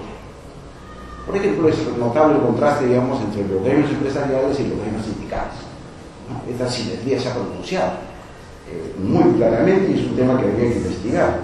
Algo lo ha mencionado simplemente Julio Kotler, pero eh, concentrándonos en el tema grupo de interés, creo que todavía tenemos ahí camino por, eh, recorrer. Y si uno habla de los poderes fácticos, que aparece ahí en la, discusión de distintas maneras, creo que podríamos, a pesar de las afirmaciones eh, de Santiago, digamos, que ve en la Iglesia y en la Fuerza Armada las llamadas instituciones tutelares un nivel de poder eh, todavía muy interesante, uno podría concluir que en este periodo el principal poder fáctico es el poder económico, poder económico privado o el poder económico internacional vinculado a lo privado. Eh, bien, entonces estamos en este contexto. Entonces hay una pregunta que también aparece en el panel, es a partir de cuándo eh, y cómo es que se establece esta simetría que es estructural, que queda. ¿no? Y creo que la respuesta es bastante evidente por lo que conocemos y por lo que se ha mencionado explícitamente, que esto ocurre a partir de 1990. O sea, el 90 es un punto de quiebre en la historia eh, eh, peruana y las referencias que se al respecto se concentran fundamentalmente en ese periodo. Bien, la cuestión que queda es si este periodo se cierra, en la medida en que ha sido sostenido eh, por un éxito económico eh, eh, notable, ¿no? incluso comparativamente hablando, notable en, relación a nuestra historia, sobre todo el periodo precedente, ¿no? que tiene un efecto simbólico, político mucho más fuerte, ¿no es cierto?, que si la situación hubiera sido más o menos y después nos estabilizamos. Era un desastre y de pronto hay, digamos, una situación de bonanza, éxito. Y porque ha habido gran continuidad, no de políticas en general, sino de políticas económicas en particular. Entonces, ese es nuestro tiempo. La cuestión es qué pasa cuando el principal sostén de este tipo de situación, que ha sido la tasa de crecimiento, la unidad de inversión privada, en fin, y, otros componentes vinculados a, este eh, fenómeno, eh, terminen. Si tengo tiempo, diré algo al respecto. Bien, en relación a la ponencia muy interesante de, Eduardo Dallén, mi colega en la Universidad Católica, se pregunta eh, sobre el tema de la heterogeneidad interna al interior de los estados, ¿no? entre los estados, al interior de los estados. Y afirma que en algunos casos uno ve claramente una diferencia muy clara que eh, aquellos órganos del Estado vinculados, a, sobre todo vinculados a la economía, como bien precisó eh, Julio Cota, tienen mayores niveles de eficiencia. Y al mismo tiempo deberían operar con otro elemento clave que es la autonomía. Y también distingue, muy interesante, y esto es un tema que habría que calibrar más adelante, la manera como eh, esto ocurre en el corto plazo y en el largo plazo, ¿no es cierto? Porque en el corto plazo puede haber tendencias que después pueden eh, eh, tener una dinámica distinta en el largo plazo. Sí pueden operar con eficiencia y autonomía, pero pueden perderla y, y después este, reducirse los niveles de, de, la autonomía. Entonces, en este sentido, yo quisiera comentar lo siguiente, que sería interesante hacer una serie de distinciones al respecto, ¿no? porque uno puede tener eficiencia sin autonomía. Entonces, ¿cómo es posible que se pierda la autonomía cuando hay condiciones de eficiencia? Se supone que la tecnocracia debería, de algún modo, garantizarlas. Es que eso no depende de las capacidades que tengas, materiales, institucionales, de su tradición burocrática, depende de condicionamientos políticos. Depende del ciclo político y la manera como se termina ensamblando la estructura del poder burocrático, donde y aquí es donde creo que la distinción sería interesante entre el nombrado y el burócrata, digamos, de, el, burócrata profesional. Lo interesante del caso eh, es que eh, en muchas de estas agencias, eh, más eficientes que otras, ya no es un nombramiento político, sino es tecnopolítico. Entonces tiene autoridad de conocimiento sobre el personal, pero tiene una determinada orientación. Y esto nos lleva a toda una, una discusión. Y en ese sentido, creo que depende mucho de qué cosa vemos, a qué, en qué agencia podemos discutir este tema y bajo qué influencias está sometido y por tanto qué concluimos acerca de la, calidad de funcionamiento, porque efectivamente se puede perder la autonomía. Entonces uno podría hablar, por ejemplo, de la captura regulatoria, ¿no es cierto? Hay organismos regulatorios particulares donde uno puede estudiar este tema, ¿no? es el caso de muchas teorías liberales en Estados Unidos sobre el regulatory capture, ¿no? Pero a nivel muy macro uno puede hablar de otro tema y hablar de una captura del Estado. Yo creo que uno puede tener relación con lo otro en la medida en que la llamada captura del Estado, comillas, este, induce a una trama de relaciones tal que permite el nombramiento de cierto tipo de personal tecnoburocrático, político, en los organismos reguladores, en los organismos que tiene que ver con el aparato económico y que opera sobre una base de una relativa autoridad. Entonces esto nos lleva a la cuestión de la macroeconómica, de la gente y el principal, que no voy a tratar, pero sí quisiera eh, eh, mencionar eh, aquello. Entonces, si esto ocurre, habría que ver en qué momentos ocurre, cómo varía, qué tan completo es y si puede cambiar. Digamos, si aceptamos el criterio de que este tipo de trama de relaciones no es la mejor porque la autonomía se ha reducido y condiciona la eficiencia, la cuestión es cómo hacemos para este, ir a, futuro, quizá ya cuando termine la bonanza en otra en otra eh, dirección. Y eso me lleva al comentario de, un, comentario, un comentario al trabajo de, Julio del Coincido, fundamentalmente con su visión, eh, eh, y es que puede haber momentos en los cuales esta relación va cambiando. Una cosa es la relación tecnoburocracia, sector privado, bajo condiciones de crisis, y en, ese contexto el poder que tienen las fuerzas externas o los poderes fácticos internacionales y otra es cuando termina de estabilizarse la, situación, donde yo diría hipotéticamente, no sé si Julio comparta esta idea, eh, comienza a pesar menos aquellos que tienen una visión sistémica. ¿no?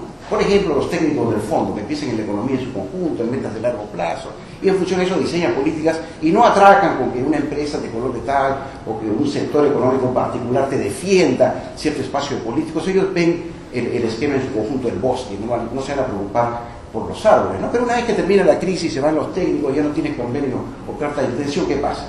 Yo también la impresión, no sé si eh, compartan esta idea, de que es aquí donde el gran poder privado termina siendo uno de los principales actores, hay que demostrar cómo, etc. ¿no? Entonces se ha formado una especie de correa, correa de transmisión, entonces se, desvanece la influencia de los tecnócratas internacionales y aumenta la influencia de aquellos más vinculados a la estructura real del poder económico que se ha fortalecido enormemente durante este, este, este periodo. ¿no? Eh, si nos insertamos, si insertamos esta reflexión en el conjunto que Julio ofrece muy bien, digamos, este, de, este, de este tiempo, daría la impresión de que estaríamos hablando de un nuevo triángulo sin base, una, capacidad de la élite, ¿no? con poder económico cada vez más, concentrado, con mayor influencia sobre el Estado. Es ciertamente variable ¿no? y tiene limitaciones, eh, ciertamente, ¿no? pero que eso, eso, es un dato central de la realidad que habría que estudiar como se administra y cuando tiene bajo nivel de representación política, este, no hay movimientos sociales como él bien dijo, entonces en qué situación está, digamos, parecería ser hasta cierto punto bastante ideal para quienes tienen las riendas del poder, digamos, ¿no? No solo formal, sino de facto, de manejar un país de esta, de esta manera. Entonces, si esto se ha sostenido en el éxito, ¿qué pasa cuando ya no hay éxito? ¿Qué pasa cuando bajamos a tasa de crecimiento eh, mucho más modestas o, lo cual tampoco se puede descartar, a una situación de, de, de, de recesión? Una pregunta abierta, ciertamente, no sé si hay respuesta para ello, pero creo que es interesante enfocarlo de esa manera.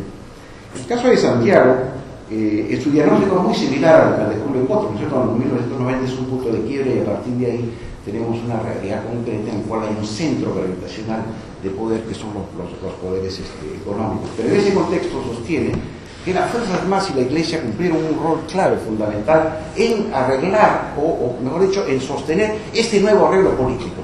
¿no? Las, las, patas del poder en 1990, en un momento muy difícil, la comienza a poner Fujimori, ¿no? renegociando o abriendo la puerta a uno mientras ponían el closet a otro, ¿no? de de la Universidad Católica. Este, y eh, Fuerza Armada, Iglesia, poderes fácticos internacionales comienzan a sostener esto que era muy precario. Y después, ciertamente, el éxito en la lucha contra el sendero y en el manejo económico lo va lo, lo, va consolidando y a partir de ahí agarra una viada, ¿no? Ha habido un discurso oficioso que, que, que, se repite todos los días, ¿no? Eh, eh, que nos ayuda a, a, a, sostenerlo. Pero yo diría que históricamente, no sé si coincida Santiago, el poder fáctico de las Fuerzas Armadas y la Iglesia ha descendido considerablemente en relación a lo que fue anteriormente, ¿no? Hoy día no hay ruido de sables, ¿no? Te imaginas más, este, digamos, este como eh, el extinguidor de, de edificio, ¿no? está ahí, úsese en caso de emergencia, ¿no? en caso de incendio. Pero ciertamente el poder eh, ha disminuido considerablemente. Quizás el propio régimen mató ese poder que lo ayudó a sostenerlo al desarrollar niveles de corrupción, donde se perdió la moral castrense, el sentido de país, no sé, habría que ver un poco esto. Eh, eh, bien. Finalmente, respecto a los medios de comunicación, yo no sé hasta qué punto ya lo podríamos distinguir o separar tan claramente de los grandes poderes fácticos económicos. Me parece que hay una convergencia, en, tu caso, en todo caso una juxtaposición cada vez más grande entre los dos, ¿no? que no solo explica el tipo de discurso soso, digamos, tipo nuevo opio del pueblo que, ¿no? desarrollan los grandes medios de comunicación, sino también el tremendo silencio que practican sobre los grandes temas económicos fundamentales. ¿no? Entonces una política de autocensura que no sé exactamente cómo funciona, eh, no sé si ustedes ven los programas económicos, yo los, veo, pero eh, eso también es una forma de poder, de, sacar de la agenda temas fundamentales de discusión económica, ¿no es cierto?, eh, eh, eh porque tienen esta gran relación de, conexión. Entonces, ¿cómo explicamos eso? Yo, creo que habría, que ver qué pasa con los medios, sobre todo con los más grandes, y de repente ver que hay una dependencia de los medios sobre el capital, así como eh, existe en otros, campos. yo también diría que hay una evolución de, de capitalismo familiar a capitalismo corporativo en los propios medios, que que esté cada vez más en la lógica de alianzas, alianzas, ¿no? alianzas de, capitales, ¿no? y esto, esto, lo lleva totalmente a moderar, digamos, su lenguaje, ¿no? a considerar pros y contras. ¿no? Entonces vivimos en un tiempo en el cual uno pues, este, tiene eh, grandes discusiones sobre este tema y sobre el cual debatimos y discutimos y ninguna discusión sobre el otro. Y eso es algo que en el futuro habría que considerar para ver cómo revertimos. ¿no? Finalmente, en el caso de, de Berlín, es una investigación eh, de un nuevo poder fáctico, eh, que es los distintos crímenes organizados que, se han formado en el Perú y que han llegado a un punto en que tienen tanto tiempo de vigencia en el país, tales niveles de ganancia, como ella bien ha demostrado, que se constituyen propiamente como corporaciones del crimen. Entonces, la, lucha que hay contra este tipo de fenómenos es muy distinta del crimen en general. Digamos, hay una banda ahí que roba bancos o secuestra, tenés otra la policía peruana que cuando quiere buena agarra, ¿no es cierto? Los captura y terminó, uno ve la baja de los secuestros, ¿no? Pero uno agarra un capo, digamos, ¿no? De la droga y sigue. ¿Por qué? Porque pueden reemplazar las bajas. Hay un incentivo económico tremendo, ¿no es cierto?, para que alguien más en la familia, entre los lugartenientes, tome el lugar de, de los caídos y por lo tanto el negocio, el negocio continúa. Eh, sin embargo, es interesante que en este caso nosotros no hemos desarrollado todavía, quizás lo estamos viendo recién, grandes mafias, ¿no? pero por lo menos en los negocios principales, que es el narcotráfico, eh, y en la minería ilegal de oro, que ya le llegará su momento de caída porque bajaron los precios, ¿no es cierto? Y depende fundamentalmente del nivel alto de precios. O sea, cuando nos quedemos con los carteles de narcotráfico, veremos que no se han constituido como, como tal, por lo menos los peruanos, pero que sí somos, cumplimos un rol intermedio. ¿Y en qué sentido viene el tema de la, eh, menciona de la permeabilidad, ¿no? Permeabilidad es un concepto muy interesante que organiza muy bien este tipo de, de fenómenos, ella lo ha explorado bien. Creo que la tesis de que como somos eh, intermediarios, digamos, y no llegamos a cerrar carteles, los niveles de violencia son menores, hay mayor permisividad, ¿no es cierto? Creo que como somos un país extractivo exportador, con gran presencia dominante del capital extranjero, hay menos rechazo social a, entre comillas, llevarse nuestras riquezas naturales. No en la contaminación. Cuando se trata de minería ilegal de oro, ¿no? que son peores contaminadores, bueno, la plata queda, dan empleo, ahí hay una cosa por explorar todavía, ¿no? Sobre, sobre ese punto que me parece eh, muy bien eh, mencionado. Y está el hecho de que el Estado, digamos, ¿no? Como que deja que esto continúe y no se preocupa mucho. Cierto que hay avance como la unidad de investigación financiera, ¿no? Y ciertamente el reubicarla en la SBS ayuda, ¿no? Y por primera vez creo, otro día estaba escuchando Julia Príncipe, exposiciones muy detalladas, ¿no? De dónde viene este dinero que se haga, cuánto se haga, cómo se haga, por lo menos comenzamos a tener una idea. Pero bueno, en 2008, esto está ocurriendo desde 1988, ¿no es cierto? Es bien tarde la capacidad de respuesta del Estado. Entonces uno podría preguntarse por qué, porque es ineficiente, porque los políticos no se dan cuenta, o porque también hay intereses económicos que no quieren que se entre a este tipo de regulación, digamos, de investigaciones más de fondo. Entonces la UIF está y te dan los datos, publica ¿no? Pero yo pregunto, ¿cuál es la voluntad real de los grandes poderes eh, económicos, particularmente de los bancos, de informar, digamos, de que está ocurriendo? Porque la voluntad la tienen, digamos, ¿no? Cuando, cuando les conviene y no la tienen cuando no les conviene. No si ustedes recuerdan cuando de pronto el Banco de Crédito del Perú reveló que nadie manejaba fondos de, de, de Venezuela, ¿no es cierto? Bueno, es un caso muy concreto donde están preocupados por el interés nacional, pero como se trata de lavado, de casinos, simplemente, y eso yo creo que también vale para la lucha contra los, los, carteles, ¿no? Eh, recuerdo un, comentario de un agente de la DEA de muy alto nivel que dijo, ya encontré la fórmula para liquidar a los carteles en el caso de la cocaína, puedes concentrarme en precursores químicos. Entonces hizo toda una ofensiva que le costó muchísimo tiempo y trabajo para comenzar a ver el, flujo, digamos, ¿no? de, dónde, de dónde se originan los químicos, cómo se vende, te fue a la fuente. Y la fuente eran grandes transnacionales. ¿no? De las grandes transnacionales le dijeron, yo lo vendo legalmente. Y es tu trabajo, no el mío, ¿no? Saber quién lo dispone. Es un relato muy interesante, pero igual sucede en otros, en otros campos, ¿no? Esta relación entre este poder económico privado formal y los nuevos poderes ilegales o ilícitos que ya comienzan a asomar como, como grandes organizaciones económicas criminales, ¿no? Es un trabajo sobre el cual hay que seguir explorando. Muchas gracias.